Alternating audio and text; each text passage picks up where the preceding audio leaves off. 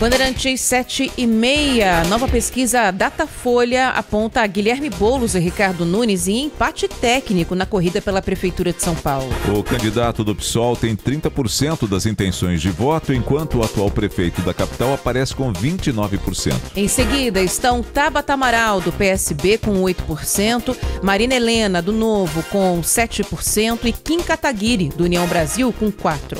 14% dos entrevistados declararam voto em branco ou nulo. Já outros 6% ainda não sabem em quem votar. Outro cenário pesquisado pelo Datafolha considera que o União Brasil não lance o nome do deputado federal Kim Kataguiri e apoie Ricardo Nunes. Com essa possibilidade, o prefeito de São Paulo passa Guilherme Boulos e fica com 30% das intenções contra 29% do candidato do PSOL. Tabata Amaral aparece na sequência com 9%, seguida por Marina Helena com 7% e Altino do PSTU com 1%. Brancos e nulos somam 16%. 7%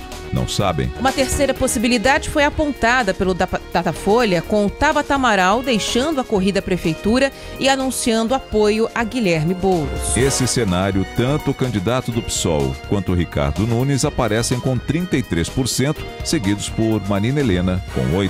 17% responderam que votariam em branco ou nulo, 7% não sabem. O Datafolha ouviu 1.090 eleitores na quinta e na sexta-feira da semana passada. Bandeirante